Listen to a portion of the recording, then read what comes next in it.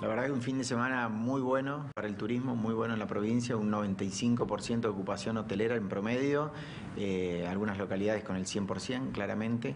eh, y muchísimas actividades. ¿no? Se pudo ver en toda la provincia, a lo largo y a lo ancho, cómo la ocupación fue, eh, fue creciendo en lo que venía del verano y este, y este fin de semana en particular de, carnaval se colmó.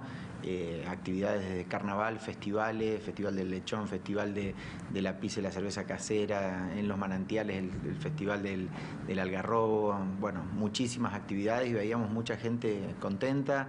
un gasto promedio entre 35 y 50 mil pesos diarios por persona, ese fue más o menos el, el, número que hoy tenemos, contentos en poder haber tenido un fin de semana tan fructífero para, para la provincia en cuanto al turismo, que movilizó